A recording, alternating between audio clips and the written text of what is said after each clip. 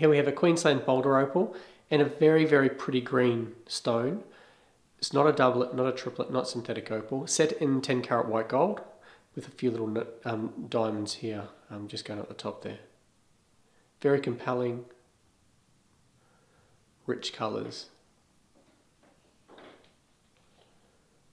White gold just really helps to make it um, look feminine and um, just kind of really enhances the colour.